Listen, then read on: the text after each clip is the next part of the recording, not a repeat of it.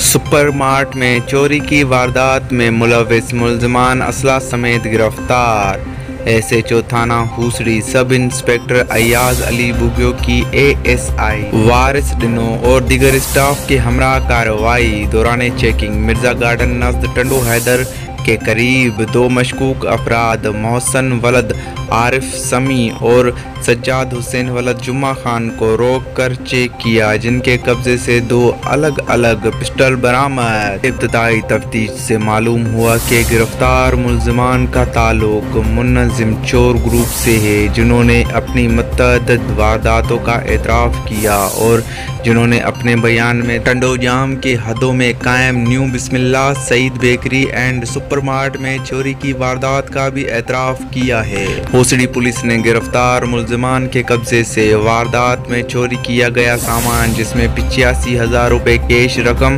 बत्तीस बोतलें शैम्पू, चौदह अदद परफ्यूम, तीस अदद सिगरेट पैकेट और दीगर सामान बरामद कर लिया। गिरफ़्तार दोनों मुलजमान के खिलाफ थाना हुसड़ी में मुकदमा दर्ज कर लिया।